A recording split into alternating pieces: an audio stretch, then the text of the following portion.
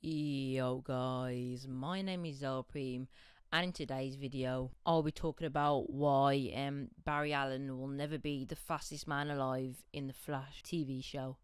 Now if you do watch the Flash TV show and read the comics as well, you'll know that um, Barry Allen is not the fastest man in the world. In the comics he's actually quite uh, like a mediocre kind of speedster. He's nothing special. He's not. He's not really that fast. You know. Uh, and in the TV show, I, in my opinion, I think they express that a lot. As Reverse Flash and Zoom have beaten him in races and in just overall speed. Uh, the only one that I can say that Flash has been close to is trajectory, and that is really, really poor, in my opinion. Uh, maybe they could have changed the speedster, like the guy that played this, the like the actual different a different speedster in the Flash. Maybe it could have been different speed speeds like Kid Flash. Maybe maybe that could have been like the the the main speedster or someone like that. But the thing is, Barry Allen, uh, in theory, will never be the fastest man alive.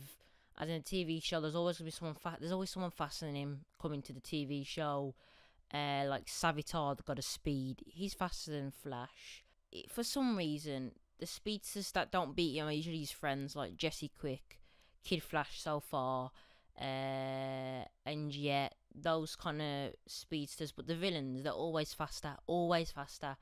Um, there wouldn't really be a TV show, obviously, if the if the villains weren't faster than him. But in the comics, Barry Allen is one of the slower speedsters, and he's a good character to base on a TV show, but he isn't. He he can't be the fastest man alive, and he he will never be the fastest man alive, except maybe uh, if they carry on with the comics and they get to like the late future, like twenty fifty six. Uh, maybe he will be the fastest man alive, but he isn't at this moment in time. And regarding Future Flash, I want to see how fast he is because that's basically future of Barry Allen, and that will determine in the future, obviously, uh, how fast he'll be and if he'll be the fastest man alive. Um, in his current time, he's not the fastest man alive, and yes, he's getting faster when it comes to training, but he will not. He's not the fastest man alive. Reverse Flash and uh, Zoom, I've been faster than him. Reverse Flash is one of the fastest uh, speedsters in the Flash universe and in Flash. And yeah, that was the end of the video, guys. I hope you did enjoy it. Um, make sure to hit that like button. It really, really appreciate it. I really like support currently. Um, I'm actually looking to upload this video kind of close to another video because this is not really a really well, like majorly planned out video with a script or anything. And yeah, also I, I was looking to do. Uh, fastest speedsters in um, Flash video, which I want to do. Tell me in the comments below if I should do it. And yeah, guys, my name is Zopreme.